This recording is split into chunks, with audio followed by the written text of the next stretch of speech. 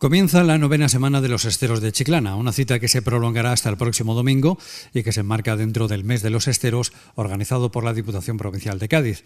En este año esta tradicional cita estará dedicada a Manuel Barbera Manguita, en cuyo estero se ha celebrado el primer despesque. El numeroso público asistente ha podido observar cómo se lleva a cabo esta actividad totalmente artesanal. Por su parte, el alcalde de Chiclana, José María Román, ha recordado a Manolo Barbera en una semana en la que el objetivo es poner en valor la calidad del pescado de estero.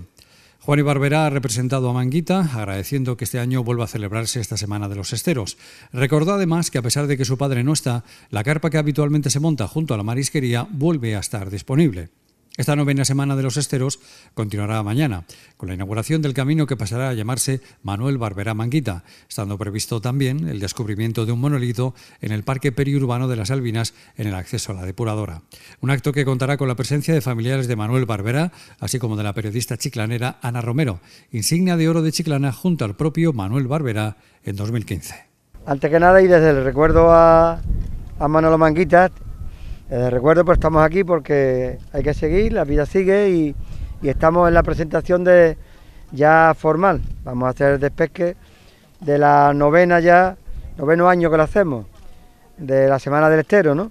Además tengo que destacar que desde la Diputación Provincial de, Cádiz estamos actuando ya en cinco municipios y, este, y estamos celebrando el mes de los esteros, porque queremos que, que este, esta acción que comenzó como una acción pionera de Chiclana sea difundida y repartida como un valor de toda la provincia, ya no solo en Chiclana, San Fernando, el puerto, Puerto Real, Trebujena también este año, el año que viene creo que se incorporará Barbate y queremos que sea un, sello muy potente del mes de noviembre que permita que todo el pescado estero sea reconocido como el pescado de calidad que es. Y bueno, ahora vamos a, a ver una, una maravilla, que es lo que es un despesque con, con el, copo y con los salabares, sacando el pescado poco a poco y la selección. Y bueno, la familia Manguita y, y todos los amigos, todos los gremios saben esto unas hartas. Y luego ya lo siguiente, que es degustar un producto que es lo mejor de lo mejor. Así que vamos a seguir y vamos a, a estar todo el fin de semana. Mañana estaremos eh, en, un, en el camino de la depuradora que va a tener el nombre de Camino de Manolo Manguita y estaremos el fin de semana también degustando los productos. Pues nada, buenas tardes a todos y a todas. De nuevo doy las gracias al ayuntamiento y a todas las instituciones que sea posible hacer esto. Intentaremos de hacerlo lo mejor posible.